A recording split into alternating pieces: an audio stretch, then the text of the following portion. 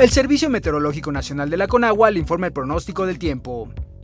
Este día es posible que la zona de baja presión con alto potencial ciclónico dé origen al primer ciclón tropical de la temporada 2022 en el Pacífico nororiental, al sur de las costas de Oaxaca, el cual generará lluvias puntuales intensas en Oaxaca y Chiapas, además de lluvias de fuertes a muy fuertes que podrían generar deslaves e inundaciones en el sur y sureste mexicano, además de la península de Yucatán. También se pronostican vientos fuertes con rachas de 60 a 70 km por hora y oleaje de 1 a 3 metros de altura en las costas de Oaxaca. Por otra parte, canales de baja presión en combinación con la entrada de humedad del Océano Pacífico producirán lluvias y chubascos, descargas eléctricas y posible caída de granizo en el norte y occidente del país. Asimismo, continuará el ambiente vespertino de cálido a caluroso en la mayor parte de la República Mexicana, con temperaturas que podrían superar los 45 grados Celsius en regiones de Sonora y Sinaloa.